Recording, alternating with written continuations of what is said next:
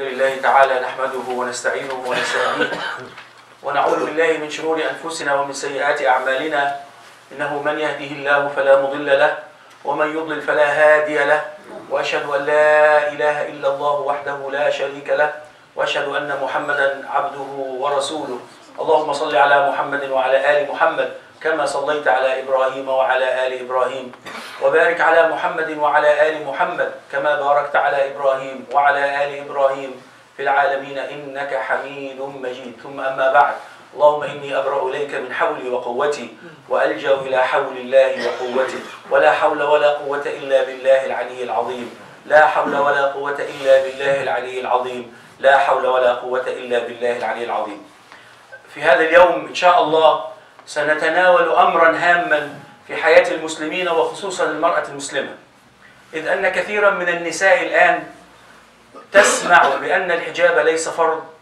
على المراه المسلمه ولا توجد مشكله في ان ان يعصي الله سبحانه وتعالى ان يعصي الانسان ربه سبحانه وتعالى ويقر بهذا الذنب ولكن المشكله في ان يغير الحلال الى حرام او الحرام الى حلال There are, there are many sisters that been told that the hijab is not part of Islam. And many of the sisters start to take their hijab off. And you know, there's no problem if they feel the pressure, but in their heart they know it is fard, it is an obligation from Allah subhanahu wa ta'ala upon every woman, every Muslim woman to have their, her hijab. But the problem is with those who reject it and say this is not fard, this is not a command from Allah subhanahu wa ta'ala. And today inshallah I'll give you a different approach.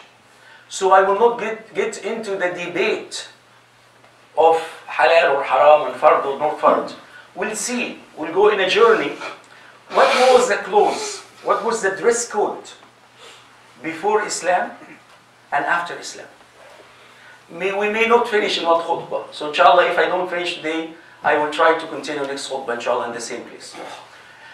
So يعني ما كان لباس المرأة قبل الإسلام في جاهلية العرب وعندما وبعد أن نزل القرآن كيف كان لباس المرأة بعد نزول القرآن من خلال دراسة النصوص الأدبية by studying the Arabic literature that everyone will have. We have a lot of resources uh, uh, in this.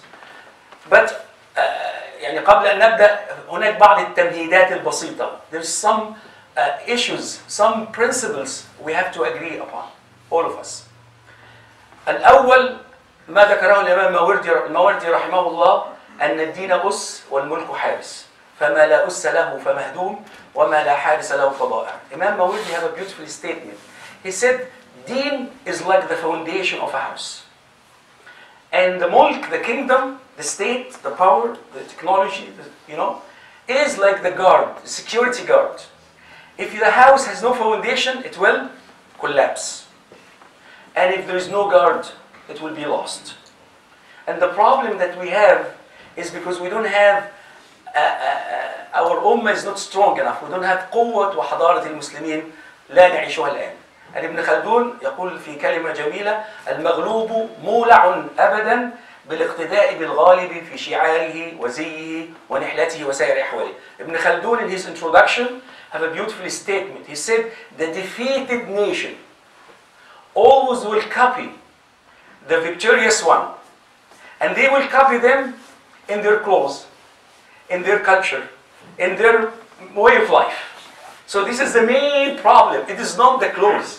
It is that we are defeated and we want to copy the victorious one. النقطة الثانية أن الصراع الداخلي بين المسلمين هو أحد أكبر المشاكل فالعلماء اختلف في أمر الحجاب هل نستر الوجه يعني يكون نقاب من المرأة تغطي وجهها ولا تظهر وجهها اللي هو ما يعرفون النساء الآن الحجاب يعني النقاب بمصطلحنا الحالي أو الحجاب بالمصطلح الحالي Yani, and, and the ulama have different opinions, which is it, through the history, we have two opinions. Either the woman will cover her face or show her face. But the problem is when these two teams fight each other, what will happen? It will allow the enemy of Islam to attack Islam. So we should not fight. We should focus on the outside enemy. Because inside there is no enemies. We're all brothers and sisters. We're all Muslims.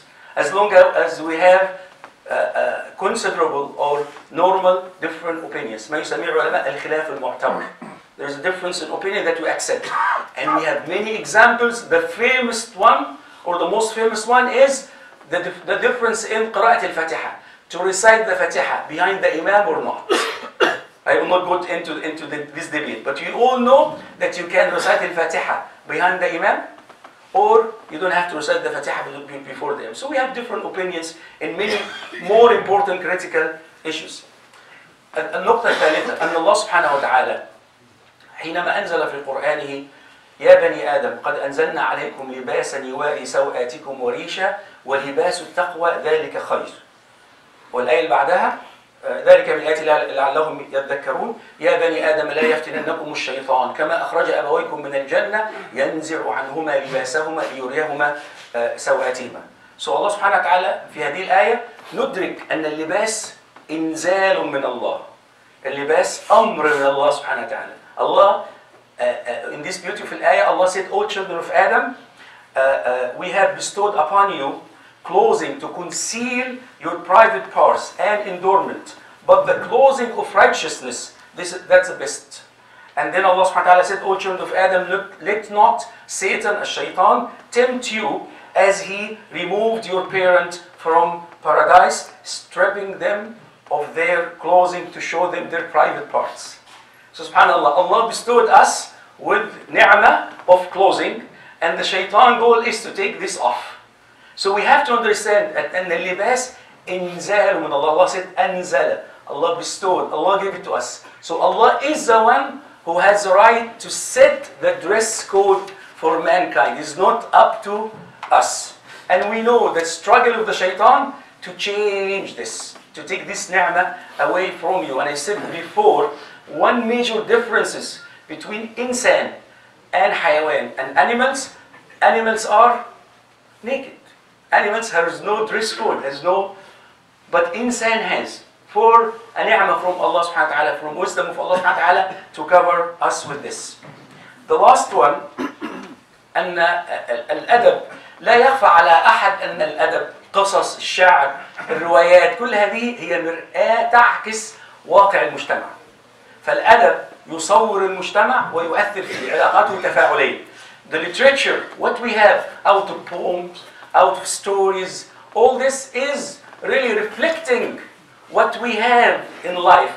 It will reflect the social life of people. Also, it will influence the life of people.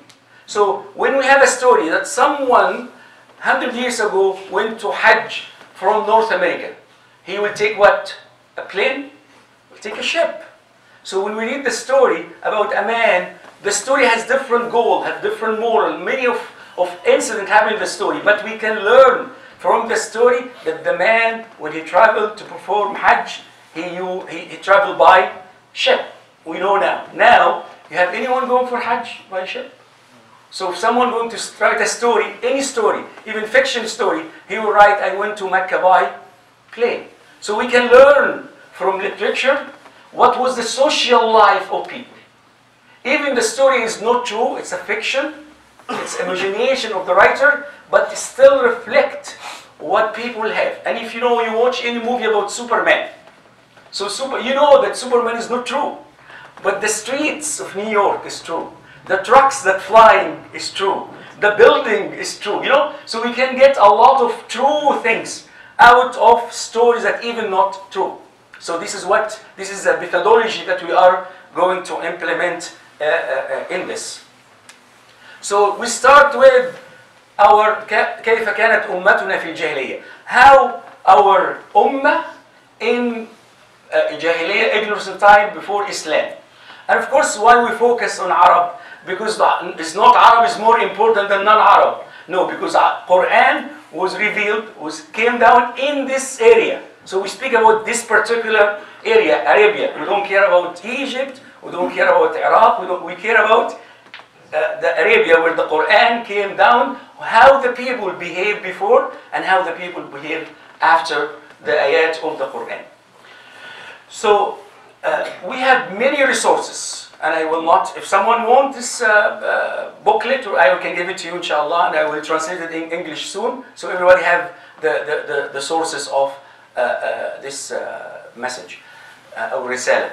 So number one is uh, Ahmed Al-Houfi. يذكر في كتابه uh, المرأة في الشعر الجاهلي كان الكثير من نساء العرب سوافر في الجاهلية So he said many women of the Jahili time they used to be سافر سوافر What سافر mean? If you go now to any woman and, or any man ask him this woman is سافر He will say she has no hijab But actually سافر or سوافر plural mean مكشوفات الوجوه meaning their face is not covered so they put they don't put cover on their face the whole body is covered except the face so he's saying many women before Islam used to be covering their faces or uncover their faces nobody speaks about naked or show her body. Or, see, this is the Jahiliyyah time. So Islam actually did not put this as a rule from day one. Islam accepted. أقر الإسلام لباس المرأة. Islam approved and confirmed the dress code of the woman in Jahiliyyah time. But he made some modifications. He made some changes for something not right. And this is what we'll go to see. واصل السفر السفر في اللغه هو الكشف the word سفر ان عربي مين كشف ويسمى المسافر ليه سمينا المسافر مسافر لانه نكتشف من اخلاقه الكثير في السفر we discover you we discover your behavior we discover your moral values while we are traveling when we have less money when we have less resources so everybody will, will, will you will be makshuf, you will be uncovered. You may cover your reality in different, uneasy situation. But in the difficult situations, we discover you and uh, more and more. So he said the word sufur meaning showing their faces. The same problem with many of us reading old texts. You know, uh, Surah Yusuf, وَجَاءَتْ سَيَّارَةٌ فَأَرْسَلُوا وَلِدَهُ You know, a, a car came, Sayyara. Allah said in the Quran, Sayyara. What's Sayyara in Arabic? Car. So many people will understand Sayyara is car, but there no, car, no cars in the time of Yusuf salam. It was caravan.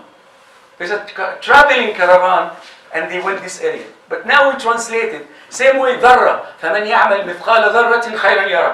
Ask anyone what ذرة in the Quran means. It'll tell you atom.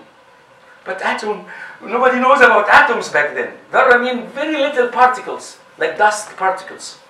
So we have to be careful. The way we use words now is different from the way people use words 1400 years ago. So the word as-sufur doesn't mean what we have now. The word as-sufur back then meaning showing their faces. But the word al-hijab and the word al-niqab was covering their faces. Hijab and niqab for early Arab before Islam meaning covering their faces. Now we use the word hijab in a different way. When you say hijab, this woman has a hijab, what do you mean? That you can see her face. Completely opposite. Subhanallah. Okay? And then we have the word al-khimar. Word al-khimar, and subhanallah, Allah uses it in the Quran. Al-khimar huwa ghita'ur ras. Head cover. Regardless if she cover her face or not. Okay? So now we have many words. We have we have khimar, head cover, only covering the, the head. We have al-hijab and al-niqab, covering their faces. And we have imra'atun safir, mean she's covered but she, she's showing her face. So these are the terms that the Quran, when the Quran came down to these people, was telling them, was talking to them into their uh, uh, uh, culture. And of course, al-khimar, you can have the woman have their head covered and she's pushed back. What happened is, and this is a mistake, and Allah corrected for Arab, that her chest, part of her chest will be shown off because the cover is falling in the back. So Allah told him, وَلْيَضْرِبْنَ بِخُمُرِهِنَّ عَلَى يَجِيُوبِهِنَّ Meaning, the remaining of the head cover huh, turn it around and put it in front of you so كان الخمار هو غطاء الرأس بغض النظر عن تغطي المرأة وجهها أم لا فكان بقية الخمار يسدل خلف الظهر فالله سبحانه وتعالى أمرهم أن يأخذوا هذه البقية ها ويديرونها ويغطوا بها فتحة الصدر to cover their neck and their chest. This is, has nothing to do with Mufassirin or Fuqaha. This is the simple understanding of Arabic language and how the people use it. Now I will give you some examples of uh, uh, literature that we have uh, uh, uh back and before Quran. أقول قولي هذا وأستغفر الله ولكم إنه this is uh, very difficult to translate, so I will do my best, so forgive me for any shortcoming. يعني هو الشعر الجاهلي اصلا صعب على العرب فما بالك عندما نترجمه I will not be able to mention everything because of the time, but inshallah, this is why I will say we'll continue next Jum'ah, inshallah. So please try to come next time so you have the whole subject uh, covered. يقول طرفة بن العبد سقط النصيف ولم ترد إسقاطه فتناولته واتقتنا باليد. The, the, the uh, طرفة بن العبد talking about a woman This is before Islam. And now I'm not talking about halal and haram. So please don't, you know, I'm just talking about stories, okay? Some of them you may don't like, but this is the social life of people. So he said, the khimar fell down accidentally. She didn't mean for her hijab to fall down. فَتَنَاوَلَتْهُ وَاتَّقَتْنَا بِهِ She hold the hijab and she covered her face with her hand.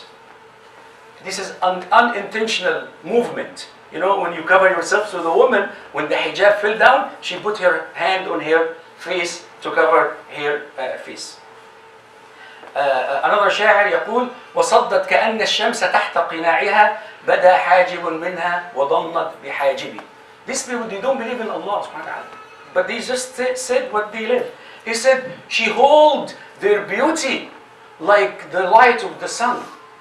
And then I can see one eyebrow from, uh, uh, eyebrow from the, the under the, the, the qina, under the, the hijab, and she covered the other one. So he's saying now you can see that you know she's covering half and showing half. Uh, another man loved uh, a woman, and he speak about how this woman is good. يقول فقد أعجبتني لا سقوط قناعها إذا ما مشت ولا بذات تلفتي. He said I like this. I like I like the moral values of this woman when she goes out, her hijab doesn't fall down, meaning she tied it well. See how sometimes women, their hijab is, is you know, about to fall down. But he said, this woman, I love and I respect, she's tied her hijab well when she walk out and she, وإذا مشت when she's walking she's not turning right and left out of you know uh, uh modesty. She doesn't want to see what people are doing. She focuses in her road, and here, you know, focus up, front or straight. She, she doesn't stare at other people, what the people are doing. So he's complimenting his woman uh, about this. Uh, uh, Aisha anha, and I mentioned this as a, a, a text, not hadith, التي سيد رحم الله نساء الأنصار لما نزلت سورة النور عمدنا إلى حجور فشققنهن فاتخذنهن إيه خمرا فمعنى هذا أن النساء كانت سوافر كانت كان وجههن مكشوفا السيدة عائشة رضي الله عنها may Allah give mercy to the women of Ansar when the the verses of the hijab came down she they, they went to some of their fabrics and they cut them and they cover their uh, uh, faces uh, uh, uh, we have uh, the last story about a man, his name is Tawba al-Himyari. He used to love a woman and he used to travel to her all the time. And when, uh, he went, every time he meet her, now two lovers, huh? In Jahiliyyah time, when they sit down, she covered her face. He said, and one time, their, their, her family discovered the relationship. So they told the sultan or the, the tribe leader, and he said, when he comes, kill him. So he said, uh, then and told her, they warned her, if, he, if you warn him, we will kill you too. So she was not able to send a message warning him not to come. So what she did, she went out and he's coming, he's approaching, and she took her hijab off. So he said, this is what he said. He said, وَكُنْتُ إِذَا مَا جِئْتُ لَيْلَا تَبَرْقَعْتُ فَقَدْ رَأَبَنِي مِنْهَا الْغَدَاتُ سُفُورُهَا He said, when I used to come and meet Layla, she used to what? had the burqa, had the niqab, cover her face. Today something fishy. She uncovered her face. So he got the message and escaped. Regardless, you like the story or not, but this is the social life of people. This is how the Arab before Islam. So before Islam, we have women either cover their face or show their face and Allah subhanahu wa ta'ala modified, Allah approved Quran approved their dress code and Allah subhanahu wa ta'ala the Quran said the only thing you need to change which is two ayah inshallah we'll mention next next uh, Friday inshallah next khutbah that your hijab uh, should cover your front, your chest, الجيب والرقبة الجيد and ولا تبرجن تبرج الجاهلية الأولى don't show your uh, uh, zina, your beauty except to uh, certain people of uh, the family members. Inshallah, we'll continue this, and I don't want to make it too short because I want to give you enough information for brothers and sisters so we close this issue.